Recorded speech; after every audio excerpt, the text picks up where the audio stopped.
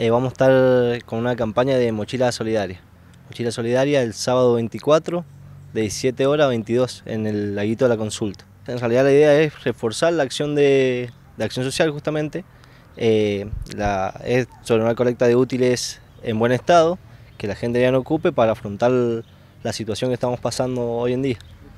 Eh, bueno, eso va a ser todo anotado lo que se entrega, pidiéndole el número a la gente que entrega para luego comunicarle cuando se realice la entrega y a dónde fue destinado todo, todos los útiles y, lo que recaudemos. ¿Es mucha la demanda que tienen? Y sí, es bastante grande, yo creo que en todos los departamentos debe ser eh, amplia la demanda. Hoy en día que está todo tan caro, la situación está difícil. Básicamente, ¿qué es lo que se necesita o qué es lo que se le pide a la gente que Y se le pide mochilas, eh, cartucheras, carpetas, algunos libros, colores, eh, guardapolvo a veces de algunas escuelas, eh, bueno, todo lo que tenga referido con lo escolar. ¿Pueden ser materiales eh, algunos usados?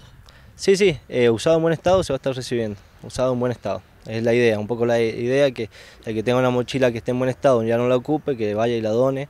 Así que ahí vamos a estar en el, en el laguito de la consulta de 17 a 22 horas. ¿Y cuándo pretenden realizar la entrega a aquellas personas que lo necesitan? Eso lo vamos a coordinar con Acción Social, se va a coordinar el trabajo con Acción Social porque bien hay que revisar también todos los útiles y todo lo que se reciba, eh, revisar lo que no estén rotos, que no estén contaminados ni nada y bueno, ahí se, hará la entrega eh, a las familias que más los necesiten. ¿Solamente ese día? Van? Sí, por el momento vamos a estar ese día y ahí veremos si hay que hacer otra acción, lo tendremos en cuenta también.